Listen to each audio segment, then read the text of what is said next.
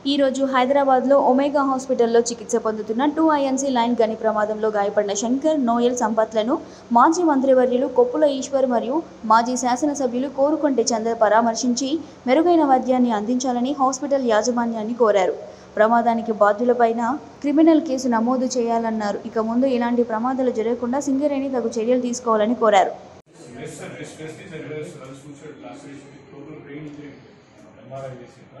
sir. తీసుకుంటే అది కూడా ఏంటంటే ఇప్పుడు ఇన్ని ఇన్ని ప్రాబ్లమ్స్లో స్లోగా మెడిటేషన్తో మనసు ఎడిమో సెట్ అయిపోయింది ఓకే నేను చెప్పాలి ఎక్కువ మూమెంట్ చేయడం కేర్ఫుల్ స్క్వాడింగ్ ఈవెన్ స్ట్రైనింగ్ కూడా ఉండకూడదు.